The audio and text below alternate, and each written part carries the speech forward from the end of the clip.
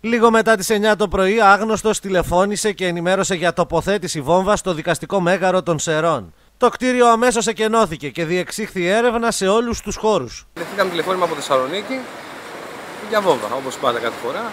Και αυτή τη στιγμή είναι μέσα στις αστυνομικέ δυνάμεις και προσπαθούν να δουν με το σκυλί, να δουν ε, τι συμβαίνει και τι γίνεται. Για ακόμα μία φορά ε, τάραξαν την ησυχία των εργαζομένων και των ε, Πάλι πολιτών μας, που ήταν ναι, μέσα, έτσι. Δεν υπήρχε και λόγος, ξέρετε πόσο δουλεύουν στα δικαστήρια.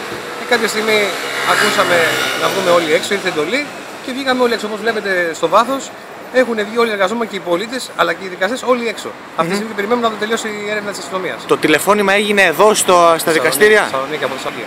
Από Θεσσαλονίκη ενημερωθήκανε και ε, κατευθείαν ε, κατέβηκαν όλοι από την έτρα και βγήκαν έξω. Και οι πολίτες και οι δικαστικοί υπάλληλοι, όλοι. Για ακόμη μία φορά αποδείχτηκε πως πρόκειται για φάρσα. Μας πληροφόρησαν ε, τα όργανα της τάξης ότι πρέπει να απομακρυνθούμε από το κτίριο διότι υπάρχει πληροφορία για τοποθέτηση βόμβας.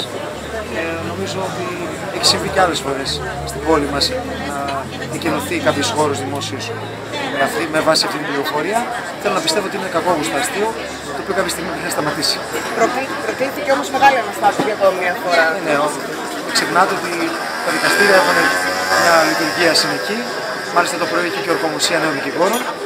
Και όσο ήταν σε εξέλιξη οι υποθέσει στι διάφορε αίθουσε του δικαστηρίου, προκάλεσε μια αναστάτωση η οποία έφερε τον κόσμο έξω από το κτίριο. Το τηλεφώνημα αυτή τη φορά έγινε στο αστυνομικό κέντρο στην Θεσσαλονίκη. Αυτό δεν το γνωρίζω. ναι. Πολύ πιθανό, όπως αντιλαμβάνεστε, αυτοί που προβαίνουν σε αυτές τις ενέργειες προσπαθούν με κάποιον τρόπο να καλυφθούν.